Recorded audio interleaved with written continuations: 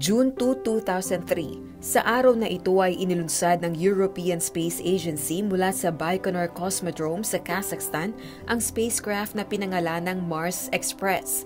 Ang pangyayaring ito ang tanda ng bagong yugto para sa Europe pagdating sa larangan ng planetary exploration. Ang Mars Express ay isang CubeSpace spacecraft na mayroong dalawang solar panel wings sa magkabilang gilid. Ang disenyo at ang naging development nito ay inabot ng apat na taon at ang halagang nagugol ay nasa 300 milyong euro. Ang misyon ng Mars Express ay upang maghagilap ng subsurface water at palapagin sa surface ng Mars ang British lander na tinawag nilang Beagle 2. Kabilang sa dala ng Mars Express ay high-resolution stereo camera, planetary Fourier spectrometer, subsurface sounding radar altimeter, radio science experiments at ang Beagle 2 lander.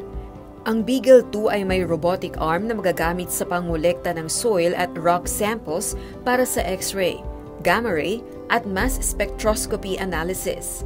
Disyembre ng taong 2003 nang makarating malapit sa planet Mars ang ESA spacecraft.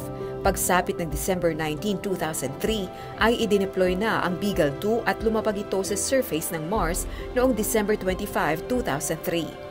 Pagbaba ng Beagle 2 ay nawala nito ng komunikasyon sa Mars Express at natagpuan na lamang noong 2015 sa pamamagitan ng mga nakuhang larawan ng Mars Reconnaissance Orbiter ng NASA. Samantala, ang Mars Express ay nakapagpadala ng mga larawan ng surface ng Mars sa European Space Agency nang ito ay makapagsagawa na ng operational orbit noong January 28, 2004. Ilan naman sa mga nadiskubre gamit ang mga instrumento ay ang presensya ng methane na posibleng senyales ng microbial life sa planeta, ang ebidensya ng liquid water na posibleng underground lake sa ilalim ng South Polar Cap at ang pagkakaroon ng aurora sa Mars.